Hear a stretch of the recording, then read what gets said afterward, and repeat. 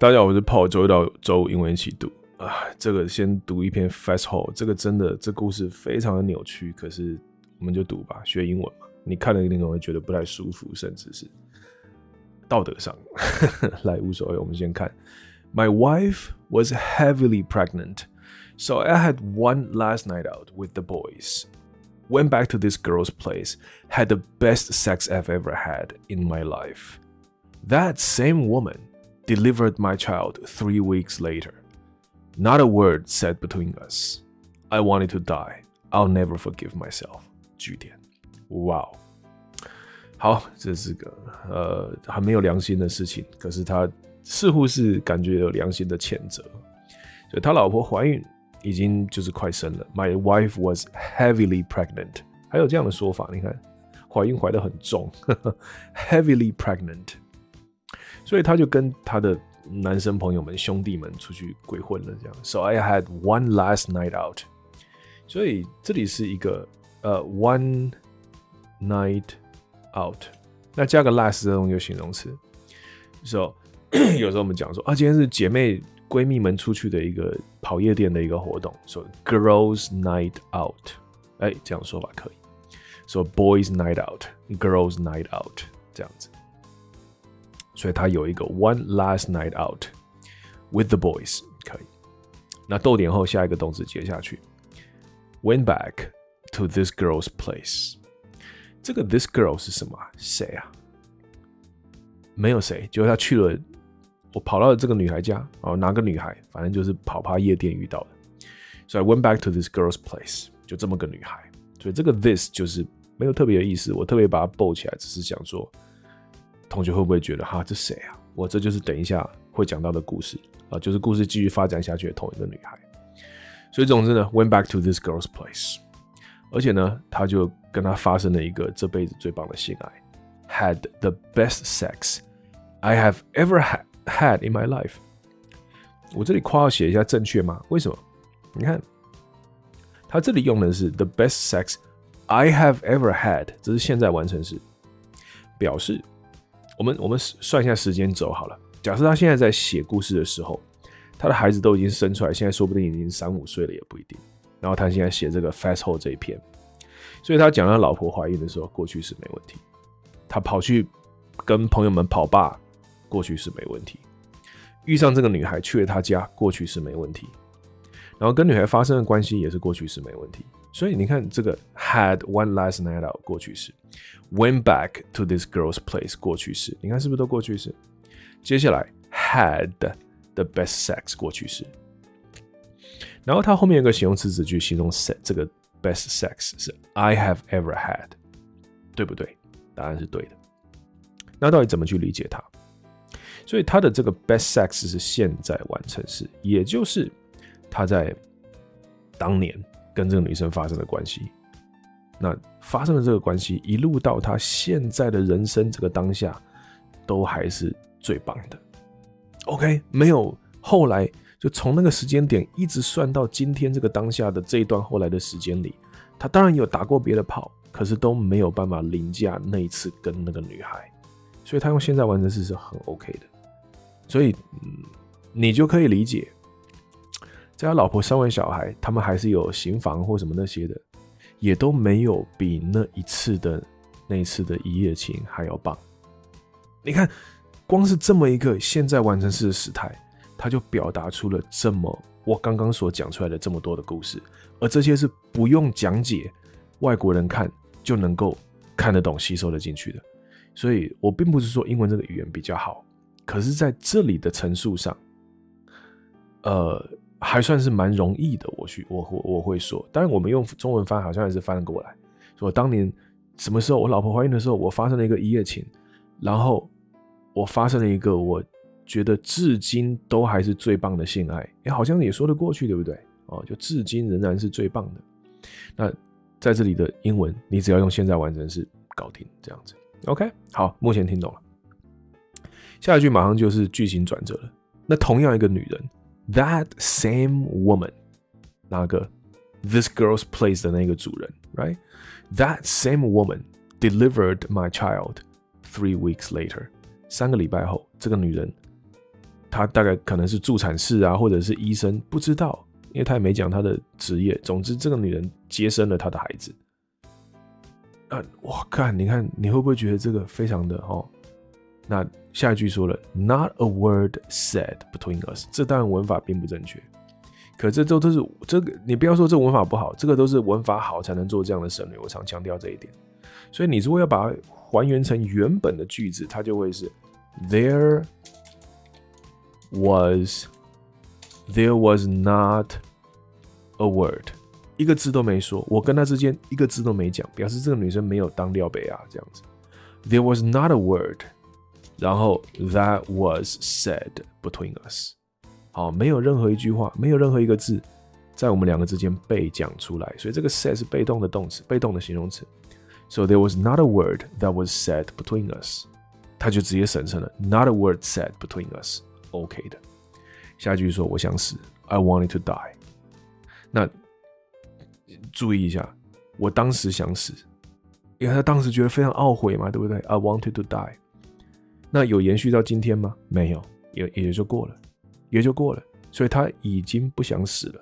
当时的他真想死，所以他需要讲 I wanted to die at the time at that time？不需要，那个 at that time 是 understood，那个 at that time 已经融在 wanted 的里面了，不需要。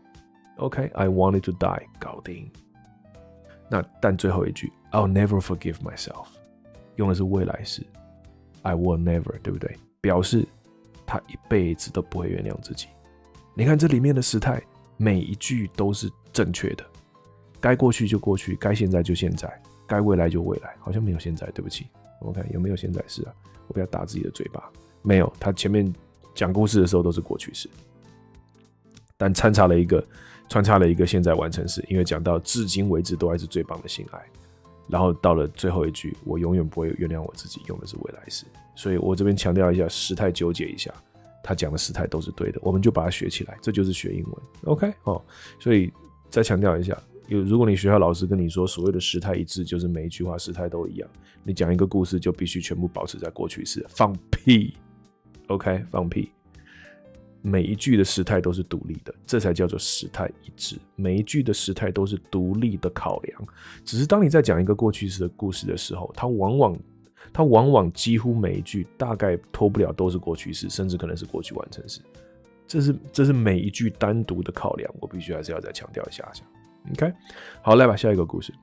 I'm six two, good looking, funny, clever, kind, cultured, and loyal. A total catch for any sane woman. However, I have a rubbish penis. If I ever meet God, I'm going to ask, What the fuck did you do that for? 一个很可爱的一个一篇，六尺二，六尺二嘛，一百八十几公分去了哈，算相当高了。I'm six two, good looking，帅没问题，funny 好笑，clever 就聪明，OK，kind 很仁慈，很仁善，好，cultured 很有文化，以及很忠诚，很 loyal。 有时候我们讲这是一个 total package，package 不是包裹，包裹嘛，可以是包裹，可是我们如果你一个人什么都会，我们也可以说它是一个 complete package。Total package，OK，该有的都有。那他这里不用 package，他讲的是 catch。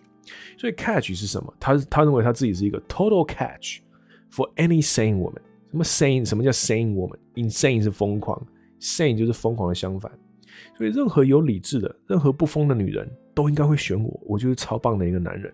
在讲的是这个概念。OK，I'm a total catch for any sane woman。那 catch 是什么？刚没讲，再讲一次。catch 呢？这里给你看哈。If someone tells you there's a catch, it means there's a complication 所以一般的状态下，我如果跟你说，哎，这件事情有个 catch 哦，那就表示它有一个复杂，它它复杂化了。好，所以我这个复杂的部分，我呃迟点跟你解释。可是如果你讲一个人本身是 catch 的话，那么这个人呢，他就是一个很好的对象。So if a person is a catch, he or she makes a good romantic partner. 所以 catch 是两个意思，但是我们要再多补充一个点，就是我们以前也讲过一个东西叫 caveat。我先跟你讲一件事，然后我后来补充，哦，but here's a caveat，然后再跟你讲，不不，什么是 caveat？所以有类似的概念，就我跟你讲一件事，哦，but there's a catch，Well then what's the catch？OK，catch 就是不不讲下去。所以他们两个有些微的不同，可是我觉得在很大层面上是能够有重叠性的。所以 if you say there's a catch，就表示 there's a danger or difficulty that is hidden or not easily recognized. That's a catch. 所以有一个危险或有一个困难在那边。就像刚刚的讲的这个 there's a catch 的话，there's a complication，哦，有它有一个复杂性在里面啊，困难呐、困呃危险、困难、复杂性，大概可以理解了。那就是没那么好容易看得出来。我现在告诉你，OK，马上举一个例句哈，就是这个例句就像例如说，呃呃，在这里啊这边。啊，因为他要讲的困难嘛，还是之类，对不对？好，或者有复杂性的部分。所以，如果一个工作他一个月给你二十万，他说：“哦，这么好，哎，可是有 catch，catch 是什么呢？你每个月要搬家。哦，我知道这个月在彰化，下个月在宜兰，在下个月在花莲，搬来搬去，没有人会喜欢这样子的，哈，游子般的生活。哎，可是一个月付二十万，你要不要？So that's the catch，听懂哈？So the job pays two hundred k a month，but here's the catch。You have to relocate every month 啊，所以这个就是 catch OK，困难。那 caveat 是什么？我们就复习一下下。caveat 就是，哎，但有一个警告哦，有一个限制哦，好，有一个 so a warning of a specific limitation。所以一件事情听起来很棒，可是它有一个限制在那里。OK，有一个限制，像什么一样？来一个例句，这公司一个月付你二十二十万薪水啊。那有什么样的 caveat 呢？就是很不幸的是，你的薪水全部都是五十块硬币，嚯！你要扛五十块硬币回去，OK？所以公司能做到的就只能付硬币，它不能付你纸钞，不能够转银行转钱给你都不行。唯一付薪水的方式的限制就是你必须拿铜板。What the fuck, right? So the job pays two hundred k a month, but here's the caveat: the company only pays in coins。啊，这样子，OK？好，所以大家听懂了 catch 跟 caveat 的分别。那回到故事里讲的是他自己觉得他自己一个 catch，OK，I'm a total catch for any sane woman。但是 I have a rubbish penis，但他鸡鸡就小，乐色笨手鸡鸡这样。要是他有机会遇上上帝的话，他就问他 What the fuck did you do that for？你干嘛这样搞我？你给我什么都最完美，然后鸡鸡小小，right？So if I ever meet God，I'm going to ask What the fuck did you do that for？好，可以了，这个故事就这样，OK。好，那没问题。好像这里就没有了。来，我们今天就讲两个故事，也 OK 了时间长度大概也够了。希望你喜欢今天的故事，希望你学到点什么。The Paul，我们下次见。